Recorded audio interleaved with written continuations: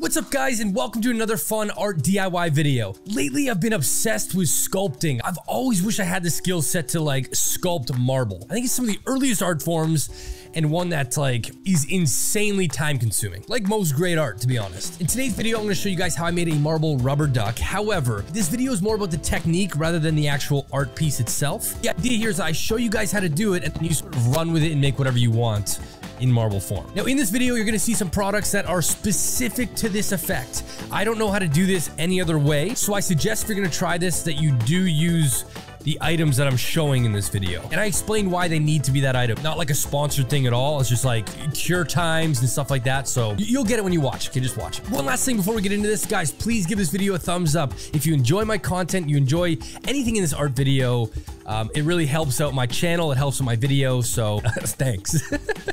please do it. Please do it. It does help. I've learned it helps. I've not been pushing it all these years, but now I've learned it helps. Okay. Please enjoy this. How to turn anything you want into marble. All right, welcome. Now, the time of filming this DIY, I was actually totally out of UV resin, except for this really expensive crystal clear resin. This is from a company called Monocure 3D, and it is the only clear UV resin that remains clear and not yellowed once printed. So I loaded up a Rubber Duck 3D file, and this is it being printed in a time lapse. It took about five hours to print, but it looked awesome. What's really cool about using crystal clear resin is that you guys can finally see what the infill on prints look like. It looks like it's taking up most of the space on the inside, but there's tons of air in there. And as you can see from the head and tail, it's actually holding on to some of the resin. So it's important that we added the drainage holes. Next up, we need to get this piece off our build plate.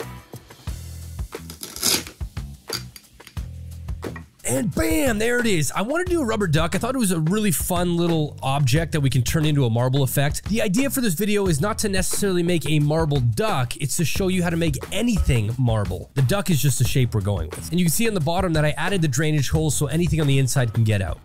Next, it was time to post-process this. We put it into our ultrasonic cleaner and then soaked it in 99% isopropyl alcohol. And the reason why I use an ultrasonic cleaner is that you can see here it vibrates super quick and that actually helps scrub the uncured resin off the surface of our object.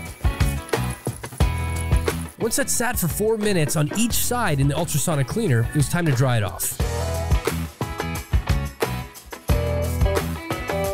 Now sometimes with UV prints, the supports will actually have a little piece sticking onto our object. So I just went in with 150 grit sandpaper and cleaned it up.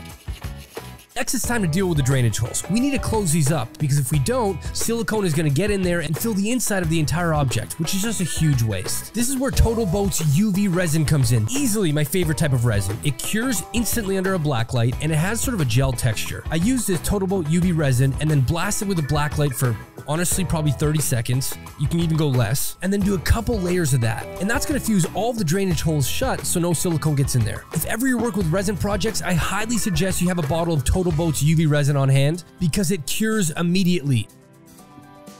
Once the holes were fused shut, I just went back with 80 grit sandpaper and sanded down any extras. Now it's time to seal our duck. This part is essential if ever you're gonna mold something with silicone that has been 3D printed. The reason being is most UV resins have chemicals in it that actually prevent the silicone from curing. So you have to add a top coat. It doesn't need to be a triple thick clear gloss like I'm doing. They've got clear ones, they've got matte ones. Just make sure you put a top coat on it and seal it.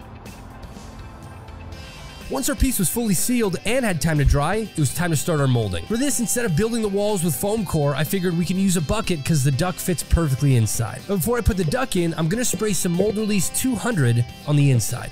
This is going to prevent the silicone from actually sticking to the side of our bucket. While that has time to settle, I mixed my one for one part silicone together. This is always so satisfying. It looks like this delicious blue yogurt. I did tell you guys in previous videos, I will always be including this because it is so satisfying to watch. Once the silicone is one consistent blue color, it was time to put our duck inside of the mold and then pour our silicone inside.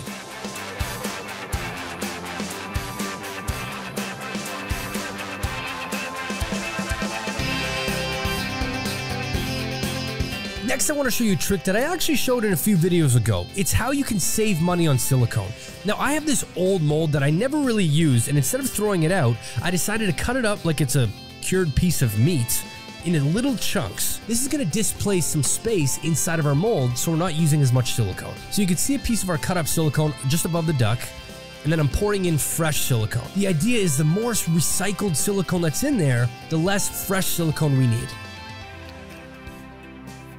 So once the fresh silicone set, I then started putting in chunks of the old recycled silicone and you could see it start to raise up taking space. Mixed up another batch of silicone.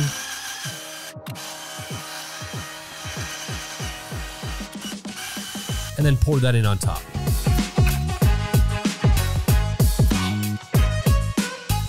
Something to always remember is that silicone will always fuse to other silicone, so all those recycled bits are now forever a part of this mold. It's just a really great trick to recycle silicone instead of just throwing it out and spending all this money on new silicone. Another thing that's great about it is you do not need to put this through a vacuum chamber. As you can see here in this time-lapse video, it will actually degas itself. 45 minutes later, our fast curing silicone was ready to be demolded. And this is where I struggled. I actually couldn't, the mold release didn't seem to do anything, and I couldn't seem to get the silicone out of the bucket. I don't know if it was the suction, so I actually drilled a hole in the top of the bucket, and then I drilled holes in the side, and then I put some painter sticks in there to try to get air.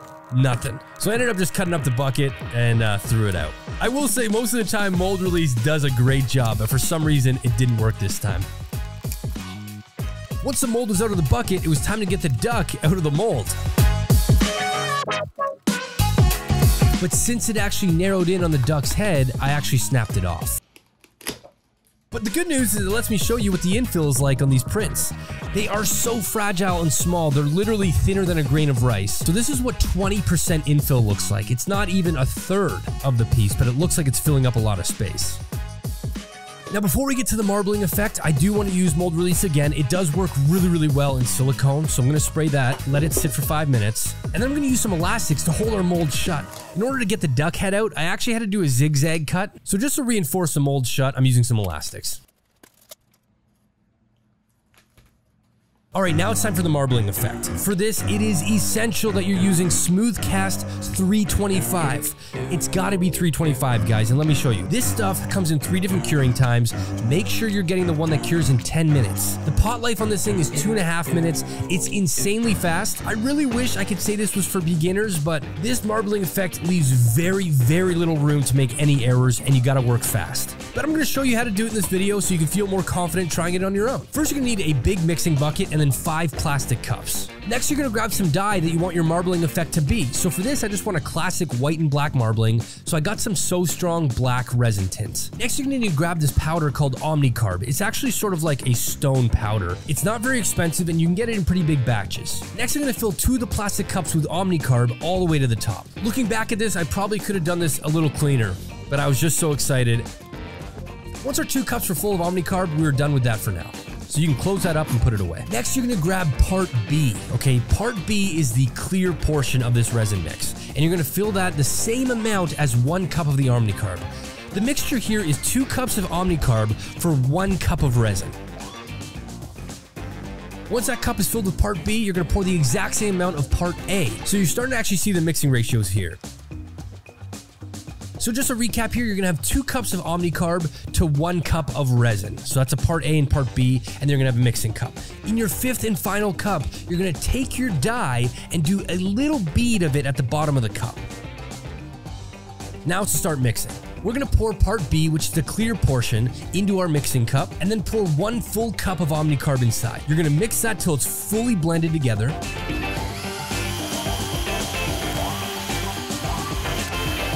And then you're gonna add in the second cup of Omnicarb. So all we have in here is part B and then all of the Omnicarb. The idea here is once it's fully blended, the texture is gonna be like mashed potatoes, sort of like oatmeal-ish. It's gonna be thick and it's not gonna look like your traditional resin. So this is where it gets intense. I'm gonna go ahead and pour the full cup of part A and the chemical reaction and the curing clock starts now. So I'm gonna mix this together as fast as I can, but also making sure that it's fully blended. And at this point, it's actually gonna go back into a sort of watery type of resin.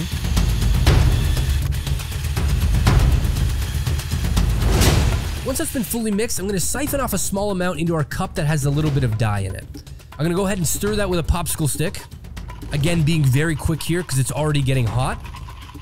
And then we're just to drizzle a tiny amount of our black mixture into our bigger mix. This is what's gonna create the veins in our marbling. You are not at all gonna mix this or blend this. You're gonna leave it exactly how it is, just like this. You're then gonna pick the bucket up and pour directly into your mix, sort of moving the bucket around to create swirls. This is now creating the marbling effect itself. And I can tell you from holding the bucket, it's already starting to get warm from the chemical reaction. No joke guys, out of any resin I've ever done, this stuff cures the fastest. Now I obviously over poured here. I figured I'll add the remaining amount of our black dye and I'll pour the remainder of that into our apple mold that I did a few months ago.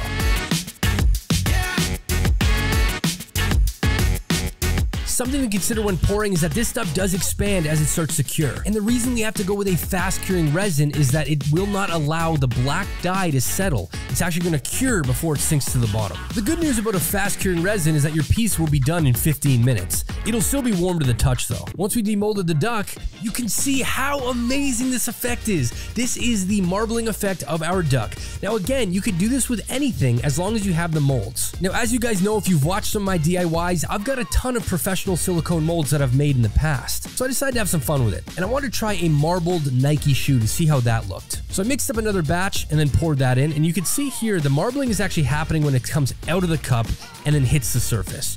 You're not blending any of the dyes together.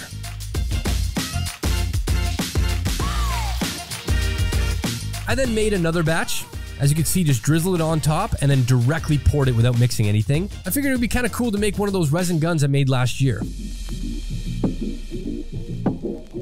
Of course, I had to do a marble iris. This is from one of my most recent DIYs.